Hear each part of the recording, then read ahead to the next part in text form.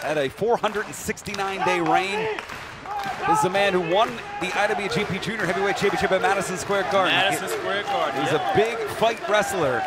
He's wearing the red. The red is when he wants to shine under the bright lights. Uh, oh, my God! My goodness, hold on.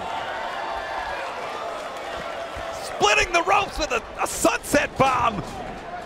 We haven't seen that Ring of Honor. I don't think we've ever seen that Ring of Honor. I didn't know if that was a palm or a power driver.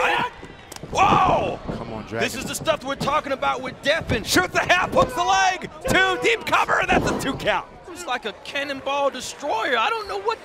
And we got to see that again. I've never seen anything Can we like get this. the replay of this? Yeah. I think Dragon landed on his head.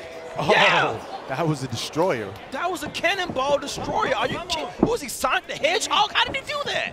Because he's strong. He's muy, mucho fuerte. Muy fuerte. That's my hermanito. Tony Come here lay down. He is coal forged, announced from Hershey, but he is from Shamokin, and the fine people of Shamokin are built different. It's a coal and slate town in Pennsylvania. When you're there, you're a little bit weird. You're a little bit crazy. There's not a whole lot to do. So you fight, you wrestle. And I don't know if that's going to be enough if he's fire forged like Dragon Lee is. Well, whether he's fire forged or not, he's definitely showing why he's the television champion.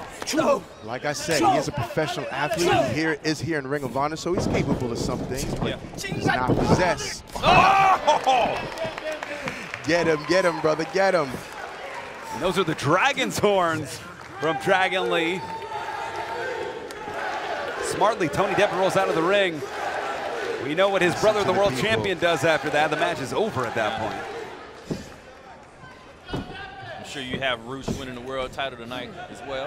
I, I mean, I didn't have to guarantee it. You know what I mean? That's Rush.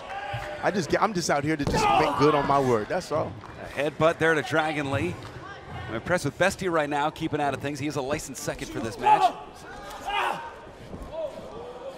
And Tony Deppen's caught. He's trying to fight and back boy, up. He's trying to grip back up. Oh, ho, ho, ho. I'm, I'm gonna tell you how I know Dragon Lee is crazy. I would have never attempted that move because I wouldn't have known where I would have landed. I don't think he knew where he was going to Exactly, land. He just knew he was going to land on Tony Deppen. My